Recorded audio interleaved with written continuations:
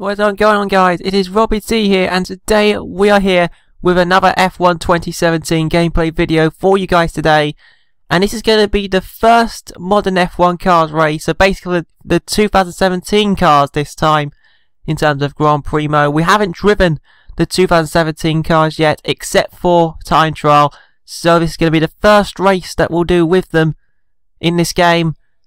And I can tell you guys now that these 2017 cars have so much more downforce and traction compared to the classic cars, which is absolutely unbelievable to hear from.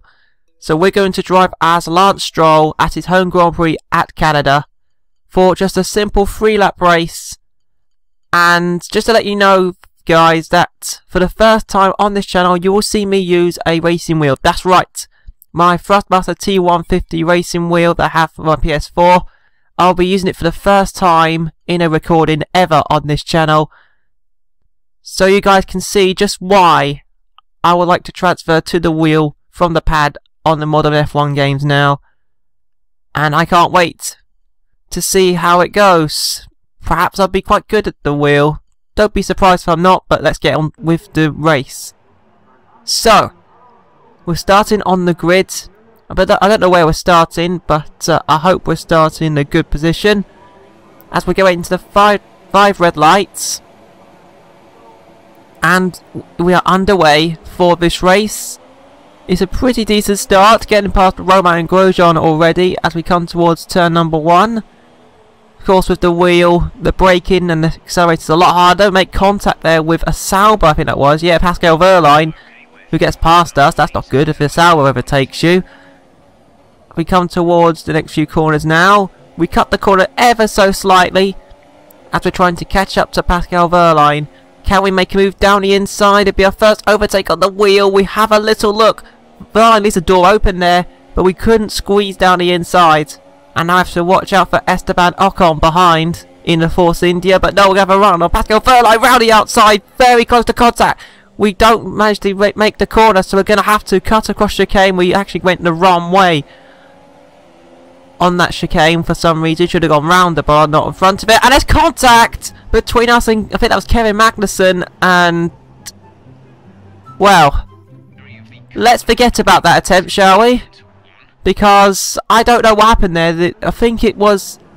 I think Magnussen just didn't see me cut across him and unfortunately we're going to have to retry that. And since this is a very short video only three lap race I just le left that part in there. But now we're underway for our second attempt. Hopefully this is the final one. As we make sniper contact with Sergio Perez our favourite driver. I hate making contact with Perez and we actually get a warning for that. That's uh, very surprising to be honest as we stay in P11 no oh, Ocon goes down the inside. We squeeze him out of the road and uh, back into P11 but wow already compared to F1 2016, the 2017 AI, wow, they're aggressive. They're so much more aggressive. You really have to work for your overtakes and make sure you leave enough room for them out of corners and in corners. As we stay in P11, trying to catch up to the pack in front, but I really, really doubt that. Because it seems like, because of the no slipstream compared to F1 2016 where it was so overpowered. As we lock up a little bit? Into the hairpin there.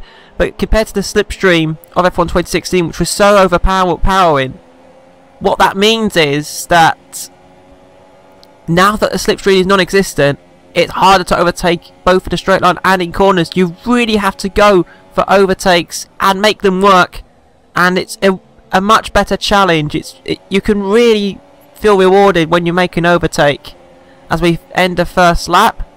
And so far the feeling on this T150 racing wheel, I definitely feel it's more enjoyable than the pads in terms of getting the car into corners because you're you're actually feeling like a racing driver. As a in a controller, it's so it's ridiculously sensitive. So it's not as fun, and the turning circle is not enough either. As we lock up once again into that hairpin, I really need to do work on my braking zones through those hairpins, especially that one there, in the future. But as you can see, Sergio Perez and the pack in front have pretty completely gone off into the distance, so points are out the question, it looks like. All we need to do now is just make sure that Esteban Ocon doesn't get in front of us. As Raikkonen sets the fast lap of the race, but he's not leading it. I think Hamilton is, so... Looks like Lewis Hamilton is going to be the first race winner of the modern car era on this game, or my game at least. As now we skip on to... We're still on the last lap of the race.